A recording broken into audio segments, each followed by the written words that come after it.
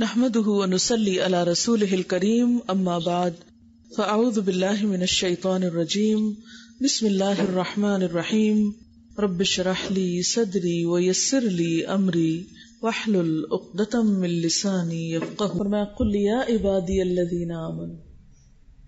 آپ کہہ دیجیے، اے میرے وہ بندو جو ایمان لائے، میرے بندو. ایمان والوں کو اللہ تعالیٰ کیا فرما رہے میرے بندو. ویسے تو مخلوق ساری اللہ کی ہے۔ ہر انسان اللہ کا بنایا ہوا ہے۔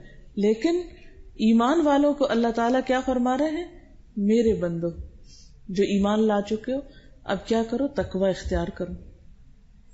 خدا سے ڈرو۔ بندوں سے نہیں، اللہ سے ڈرو۔ وہ ہر جگہ تمہیں دیکھتا ہے۔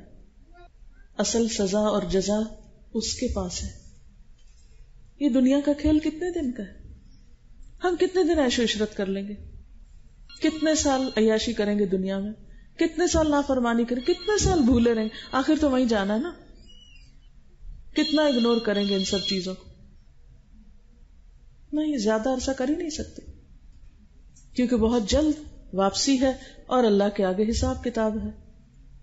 تو للذین احسنوا فی هذه الدنیا حسنا، جو لوگ اچھے کام کرتے ہیں، ان کے لیے اس دنیا میں بھی اچھائی ہے۔ نیکی کا بدلہ اللہ تعالیٰ ضائع نہیں کرتے۔ ان اللہ لا یضیع اجر المحسنین۔ اللہ تعالیٰ محسنین کا اجر ضائع ہی نہیں کرتے۔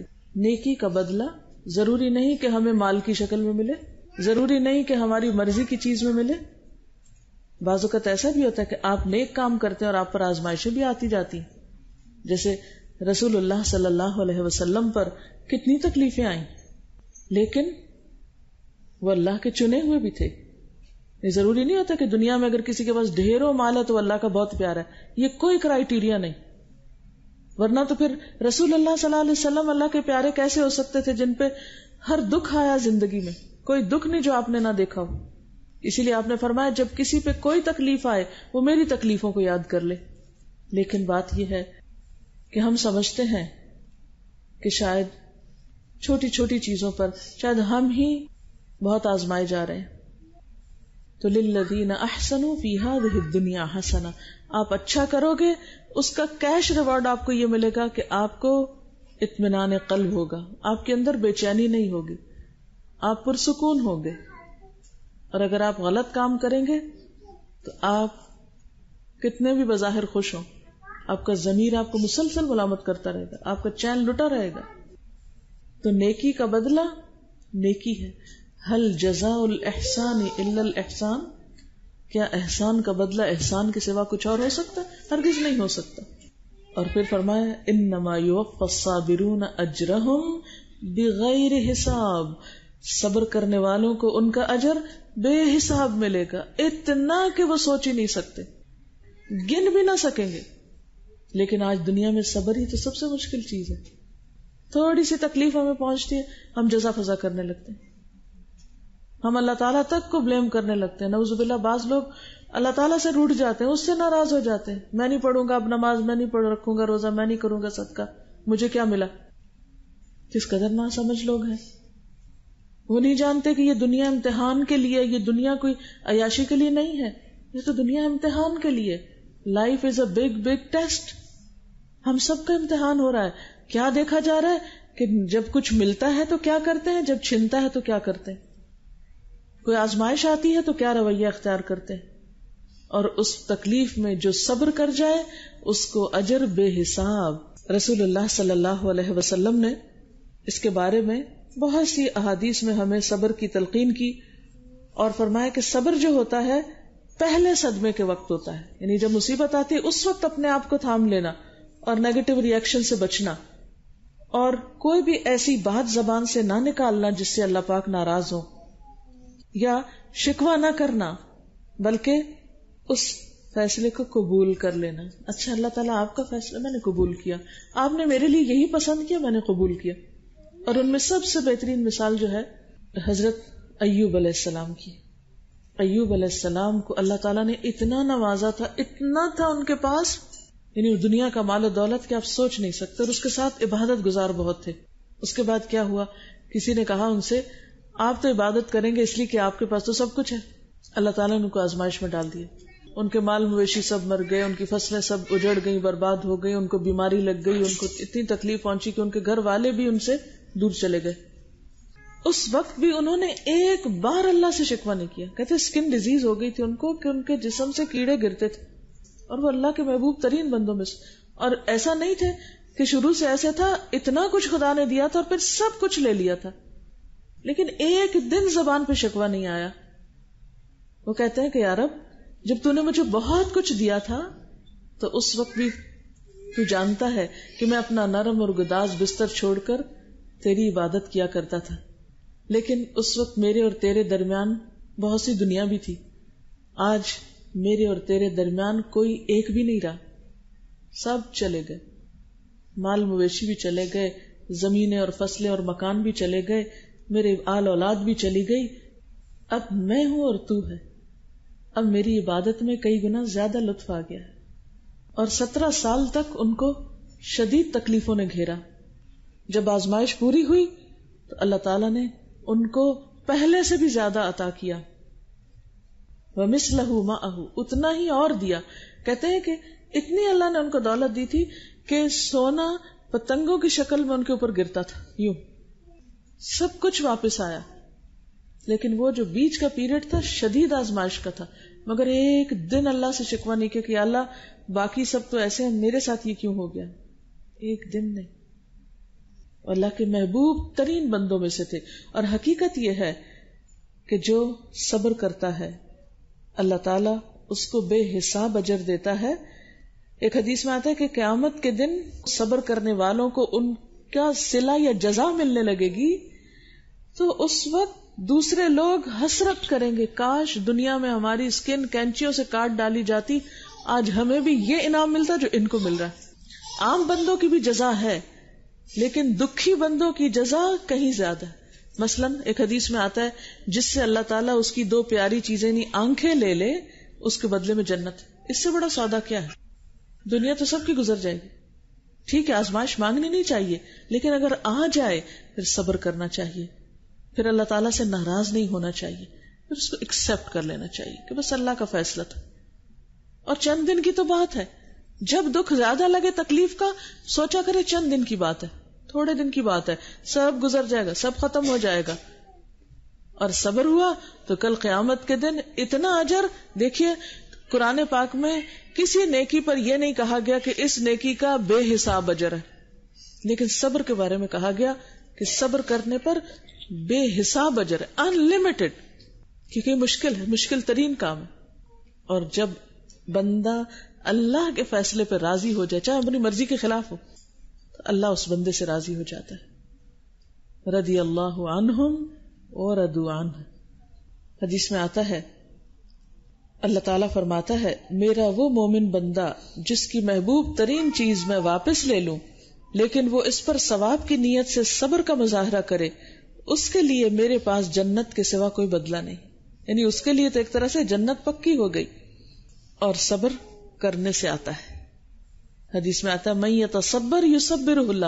جو صبر کی کوشش کرے گا، اللہ اس کو صبر دے دے گا۔ اور اگر آپ بے صبری کرتے چلے جائیں گے، ہاتھ بھی کچھ نہیں آئے گا اور صبر بھی نہیں آئے گا۔ اور سوائے اپنے آپ کو ڈپریشن میں مبتلا کرنے کے، غم اور دکھ کے، کچھ بھی نہیں کر سکیں گے۔ اس کے لیے طریقہ کیا ہو پھر صبر کا؟ قرآن پاک میں اللہ تعالیٰ فرماتے ہیں، یا الذین آمنو، استعینوا بالصبر والصلاۃ اے لوگو، جو ایمان لائے ہو، نماز اور صبر سے مدد لو یعنی اللہ کے ذکر اور نماز کے ذریعے اللہ تعالی کو تھام لو۔ اور پھر اللہ کا وعدہ ہے، ان اللہ صابرین اللہ تعالی یقینی طور پہ صبر کرنے والوں کے ساتھ ہے۔ ایک اور جگہ پر آتا ہے، واللہ یحب الصابرین۔ اللہ محبت رکھتا ہے صبر کرنے والوں سے۔ ایک اور جگہ پہ فرمایا وہ بشر الصابرین خوشخبری دے دو صبر کرنے والوں کو۔ ایک اور جگہ پہ فرمایا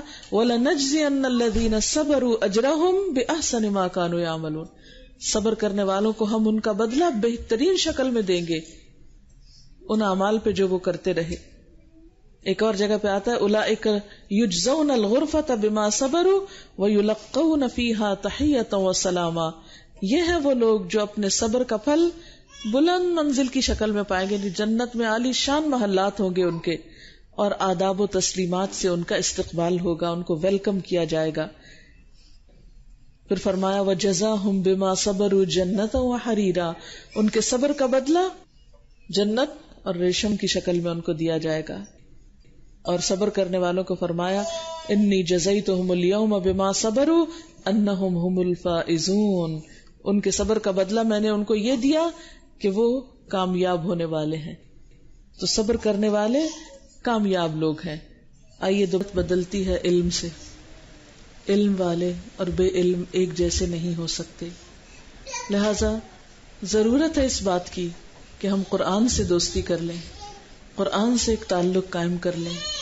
اور یہ جانیں کہ ہمارا رب ہم سے کیا چاہتا ہے۔ پھر یقینی طور پر آپ کے نہ صرف یہ کہ دلوں کا حال بدلے گا، عمل بھی بدلیں گے اور آخرت کا انجام بھی بدلے گا۔ اللہ تعالی ہم سب کو بہترین طریقوں پر عمل کی توفیق عطا فرمائے۔ وآخر دعوانا ان الحمد للہ رب العالمین۔ دعا کر لیتے ہیں۔ سبحان اللہ والحمد للہ ولا الہ الا اللہ واللہ اکبر ولا حول ولا قوة الا باللہ العلی العظیم۔ اللهم صل على محمد وعلى آل محمد كما صليت على إبراهيم وعلى آل إبراهيم إنك حميد مجيد. اللهم بارك على محمد وعلى آل محمد كما باركت على إبراهيم وعلى آل إبراهيم إنك حميد مجيد. ربنا آتنا في الدنيا حسنة وفي الآخرة حسنة وقنا عذاب النار. ربنا لا تزغ قلوبنا بعد إذ هديتنا وهب لنا من لدنك رحمة إنك أنت الوهاب. ربنا هب لنا من أزواجنا وذرياتنا قرة أعين واجعلنا للمتقين إماما. اللهم انفعنا بما علمتنا وعلمنا ما ينفعنا وزدنا علما. اللهم اكفنا بحلالك عن حرامك وأغننا بفضلك عمن سواك. لا حول ولا قوة إلا بالله. لا إله إلا الله. لا نعبد إلا إياه. له النعمة وله الفضل وله الثناء الحسن. لا إله إلا الله. مخلصين له الدين. ولو كره الكافرون لا إله إلا الله وحده وحده وحده لا شريك له له الملك وله الحمد، وهو على كل شيء قدير۔ یا اللہ پاک، تیرے کلام میں سے جو کچھ ہم نے پڑھا ہے ہمارے دلوں میں اتار دے۔ ہر چیز سے بڑھ کر ہمیں اپنی محبت عطا کر دے۔ یا اللہ، ہر چیز سے بڑھ کر اپنا خوف دے دے۔ یا اللہ، تو ہماری آخرت کا حساب آسان کر دینا۔ یا اللہ، دنیا سے بڑھ کر ہمیں آخرت کے گھر سے محبت دے دے۔ یا رب العالمین، تو ہمارے بچوں کو ایمان پر قائم رکھنا، ہماری نسلوں کو اسلام پر باقی رکھنا۔